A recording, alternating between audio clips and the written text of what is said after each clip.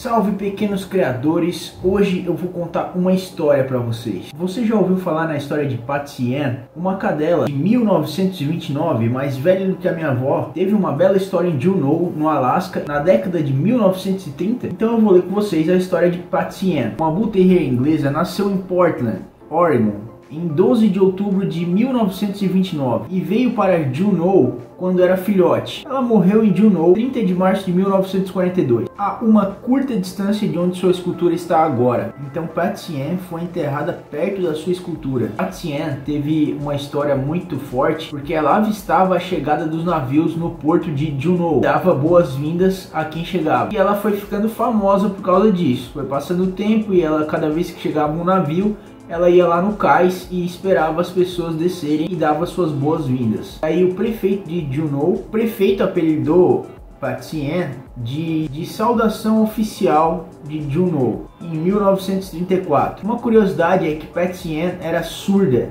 desde o seu nascimento, mas de alguma forma ela ouvia os assovios dos navios chegando ao cais. Detalhe, muito antes deles aparecerem, então por isso que ela acabou ganhando a fama. Quando a Patien chegava no cais é porque estava chegando navio e ela servia de alerta para quem estava esperando esses navios. Então ela ficou super famosa por isso lá nessa cidade. E ela nunca errava. E entre as visitas do navio, Etienne também fez ronda de seus amigos em empresas locais. Ela tinha um grande número de amigas, da maioria que as servia de comida. Então ela era alimentada pela amizade que ela fez. Ela se tornou uma artista naquele local. Tanto que hoje em dia, nesse local, como eu falei no início ali, existem muitas homenagens espalhadas pela cidade. Só que o mais memorável é a estátua dela que existe até hoje lá. Durante a década de 1930, sua imagem adornava cartões postais vendidos em lojas de curiosidades e para muitos visitantes, ela foi o destaque da sua visita em Juneau. Então tinha gente já visitando Juneau só para conhecer a cadelinha na época. A marcha distinta diminuiu ao longo dos anos devido ao reumatismo causado por mergulhos não programados nas águas frias no canal de Gastineau. E ela cresceu acima do peso devido à alta vivência dos cozinheiros do navio. Ainda assim, ela sempre se dirigia para as docas, sempre que assovios a vapor balançavam as calçadas do velho Juneau. Sem endereço fixo,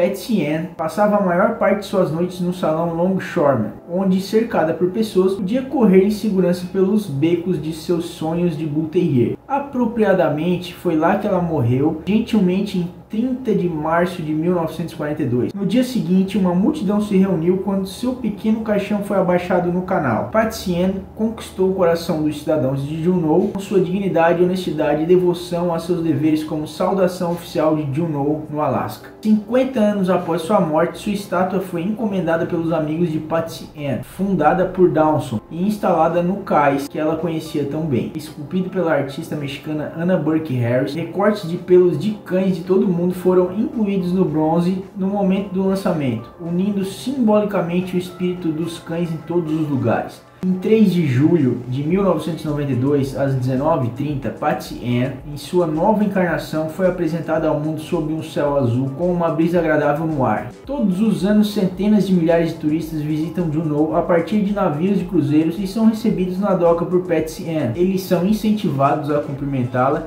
e tocá-la, e ao sair, levar com você as bênçãos de amizade ao longo da jornada de sua vida. Que seu espírito viva para sempre. Então essa é uma história que eu já conhecia há muito tempo. Isso aí tá em vários vídeos aqui meu de, da história do Bull Só que eu achei um artigo que explicava bem a fundo a história de Paticiano. Espero que vocês tenham gostado dessa breve história. Conhecimento nunca é demais e uma historinha para quebrar o clima também nunca é demais. Até a próxima.